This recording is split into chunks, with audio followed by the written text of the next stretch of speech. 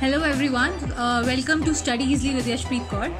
तो a very happy Friday to all of you और uh, अब uh, क्या नाम है स्टडीज़ भी फ्राई फ्राई लग रही होंगी लाइट अब थोड़ा सा एग्ज़ाम्स पास में आ गए तो कोई बात नहीं अब पढ़ाई शुरू करते हैं अपनी। तो अब न्यू चैप्टर के साथ हम लोग शुरू करते हैं। That is structure organisation and animals जो कि मोस्ट इंपॉर्टेंट चैप्टर है। अगर हम लोग टिश्यूज के रिगार्डिंग देखें तो क्वेश्चन जो है घुमा फिरा के कहीं ना कहीं आ जाते हैं। ओके? तो अब यहाँ से हम लोग शुरू करेंगे उससे पहले। अगर आपके कोई डाउट्स रहते हैं तो आप मुझे सोशल मीडिया पे अलग अलग प्लेटफॉर्म्स पे आप मुझे कमेंट कर सकते हैं मैसेजेस कर सकते हैं। तो गूगल प्लस में with the name of Yashpreet Kaur you can find it out link जो है वो डिस्क्रिप्शन में मिलेगा आपको। इंस्टाग्राम पे आप यशप्रीत कौर स्टडीजली या स्टडीजली के नाम से बेसिकली देख सकते हैं। तो वहाँ पे कम्युनिटी है हमारी। दूसरा फेसबुक पे स्टडीजली है पेज वहाँ पे आप वो लाइक कर सकते हैं। फॉलो कर सकते हैं हम लोगों को। और अगर फिर भी आपको कोई डाउट रहता है तो जीमेल में care study easily at the rate of G mail dot com पे you can follow us and Telegram तो है। टेलीग्राम में study easily with Yashpreet Kaur के नाम से है। तो इसका सबका लिंक आपको डिस्क्रिप्शन में मिल जाएगा। तो फॉलो अस एंड चलिए अपना चैप्टर अब शुरू करते हैं। तो बेसिकली जिस तरह से अब यहाँ पे हेडिंग कह रहा है स्ट्रक्चर ऑर्गेनाइजेशन इन एनिमल्स ठीक है? एनिमल्स में स्ट्रक्चर ऑर्गेनाइजेशन अब स्ट्रक्चर ऑर्गेनाइजेशन कभी भी कोई स्ट्रक्चर जो है या कोई ढांचा जो है तो जो तैयार होता है, वो किसी एक पर्टिकुलर बेसिक यूनिट से होता है। और बेसिक यूनिट हमारी बॉडी की अगर हम लोग देखें या लिविंग ऑर्गेनिजम्स की देखें तो वो कौन सी है? सेल्स है राइट तो वो सेल्स आ गए। अब सेल्स हमारे कितनी तरह के दो तरह के यूनिसेलुलर एंड मल्टी राइट और रॉन्ग ऑब्वियसली राइट ठीक? ओके जी।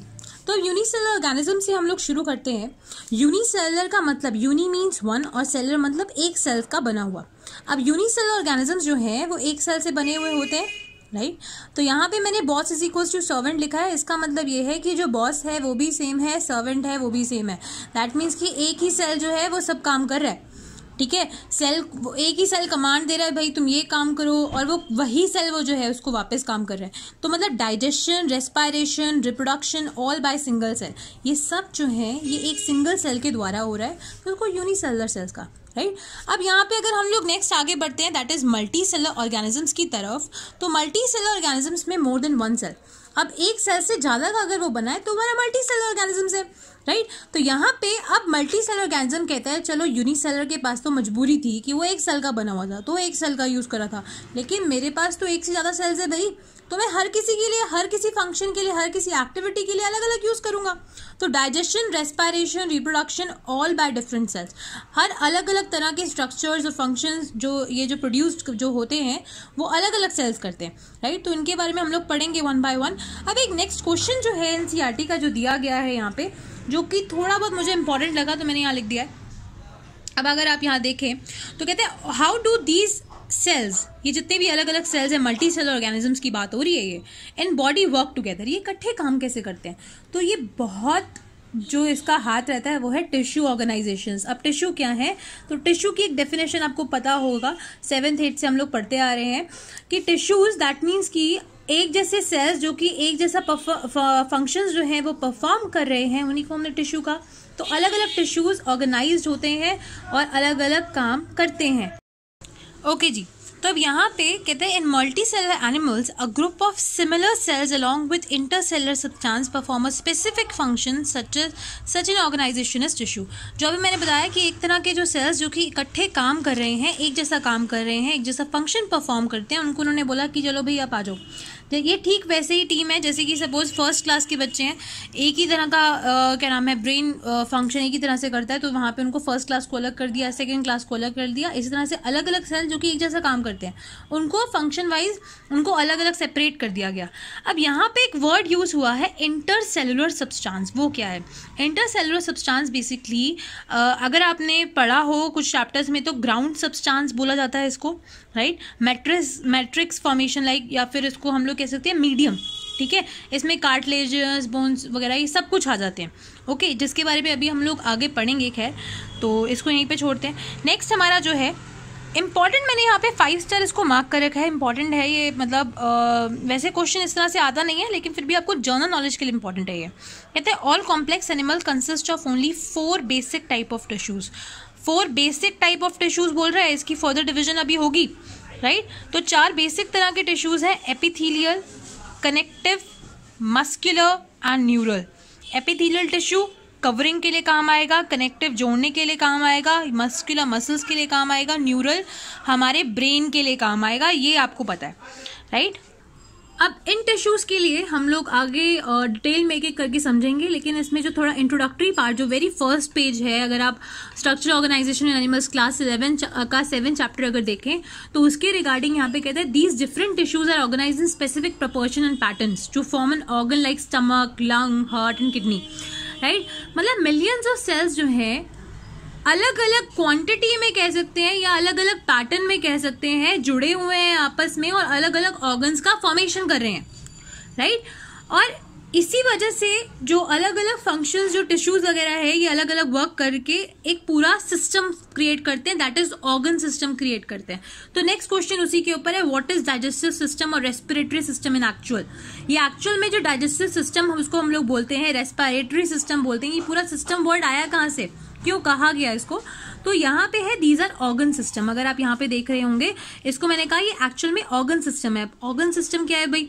तो इसको समझते हैं। तो यहाँ पे है कि जब दो या उससे ज़्यादा ऑर्गन जो कि एक ही तरह का फ़ंक्शन आपस में मिलके परफॉर्म कर रहे हैं फिजिकली या केमिकली इंटरेक्शन की वजह से, उसको हम लोगों ने ऑर्गन सिस्टम बना दिया। जैसे इसका एक एग्ज़ाम्पल मैं देती हूँ। अगर आप लोग देखें, हमारे डाइजेस्टिव सिस्टम में क्या क्या चीज़ आ रही है? माउथ, बकल कैविटी आ रही है। ईसोफेगस आ रहा है। राइट? right? अगर आपने मेरा चैप्टर देखा हो डाइजेस्टिव सिस्टम वाला तो उसमें आपको पता होगा डाइजेस्टिव सिस्टम क्या होता है। तो अब यहाँ पे अगर हम लोग देखें ईसोफेगस आ रहा है स्टमक आ रहा है इंटेस्टाइन आ रहा है तो अब इन सबको हमने मिला के डाइजेस्टिव सिस्टम में क्रिएट किया। उसके साथ जो एसोसिएटेड ग्लैंड है, वो अलग बात है है ना? तो अब फिजिकली अगर हम लोग देखें बकल कैविटी हमने खाना खाया, खाना कहाँ से गया ईसोफेगस से फ़ूड पाइप से, ठीक है? फ़ूड पाइप के वो स्टमक में डाइजेस्ट हो रहा है कि नहीं हो रहा है?